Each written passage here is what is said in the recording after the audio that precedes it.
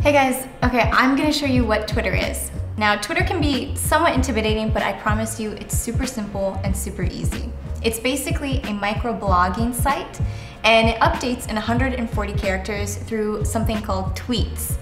Go to twitter.com and I've already brought it up here on the screen.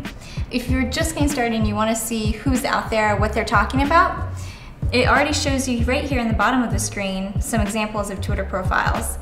Why don't we put in Obama and see what he's talking about. So it's gonna show me everyone who's talking about Obama here on the screen. And then on the right hand side, it's gonna give me a bunch of different options for who President Obama's profile is. There are a lot of people who fake names, and so that's why you see this little blue check here to the right, which tells me that this is definitely President Obama's profile page. And you'll see down here that he has showed us a video on his second tweet, watch the video here. Now, the link looks a little weird, and it's because Twitter has to change what the URL looks like in order to get it under that 140 characters.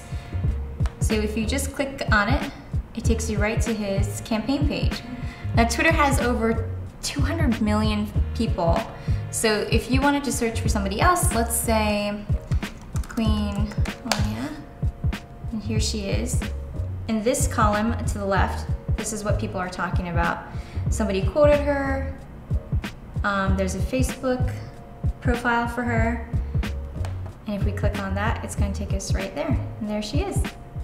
So say that you just want to update your family members. They can sign up to follow you and you can privatize your tweets. Or if you are someone who is in the public sector and you need to have an audience and speak to your audience, then you can easily do that as well. And that's what Twitter is. Twitter is super easy and super simple. It's easy to get started, and we're gonna show you how.